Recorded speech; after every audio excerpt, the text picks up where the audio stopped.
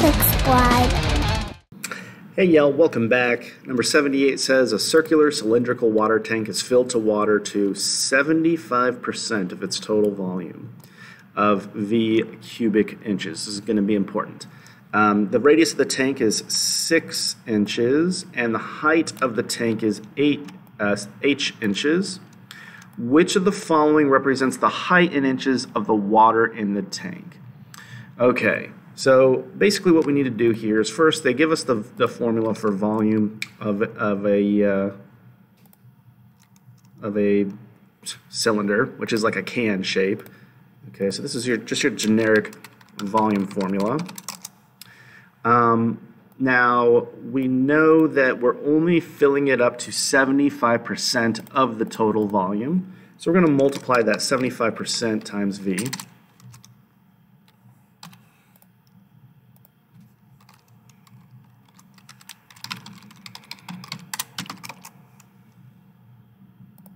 Which is going to be 3 fourths. So 3 fourths V equals the uh, pi r squared h.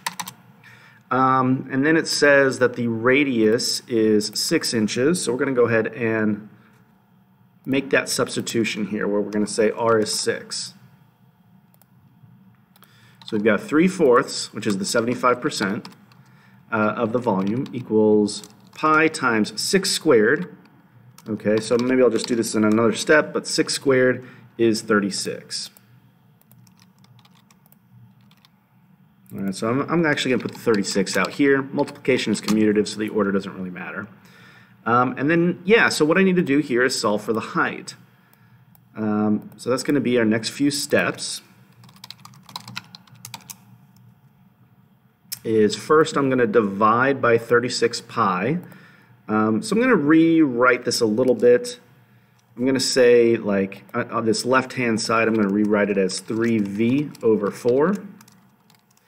And then I need to divide both sides by 36h. So I'm going to divide by 36, I'm not sorry, not h, but pi.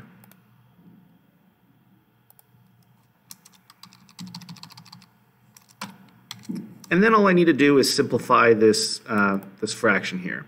So you could do the 4 times 36 and then simplify, or I'm, you know, it's kind of easy to do this 3 over 36, so I think I'm going to simplify that first. 3 over 36 is going to reduce to 1 12th, so 1 over 12.